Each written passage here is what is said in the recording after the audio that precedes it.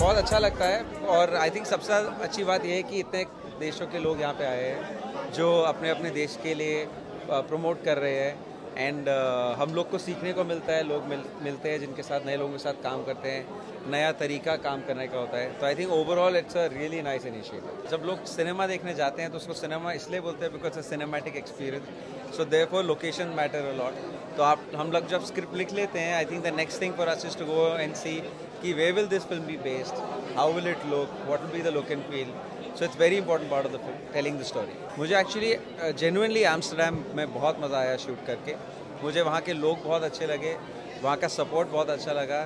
वहाँ government genuinely effort डाल रही है कि अगर आप हमारी कंट्री में शूट करने आओगे तो we will provide you every facility possible and सबसे ज़्यादा ज़रूरी चीज़, मुझे वहाँ का खाना बहुत अच्छा लगा। हम लोग हमेशा फिल्मी लैंग्वेज में बोलते हैं ना कि बड़ा डिफरेंट है, ये बड़ा डिफरेंट है। तो मुझे लगता है कि ये बड़ा डिफरेंट अवार्ड है फ़िल्म इंडस्ट्री वालों के लिए बिकॉज़ ये कुछ फ़िल्म टूरिज़्म के बीच का कुछ अवार्ड है। कि बेसिकली ये ये कहना चाह रहे हैं कि मेरी फ़िल्में ऐसी रही हैं जिसको देख करके दूसरे देशों में टूरिज़्म बढ़ा है। बड़ी सौभाग्य की बात है, मेरे लिए बड़ी खुशी की बात है। सबसे ज़्यादा खुशी की बात तो ये थी कि मैं इन कंट्रीज़ में जा कर के काम कर सका, इनके लोगों से मिल सका, इनका खाना खा चुका,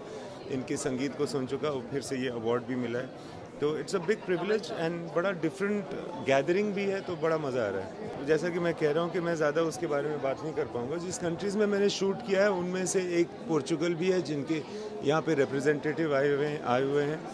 और एक नेदरलैंड्स है एक बुडापेस्ट है और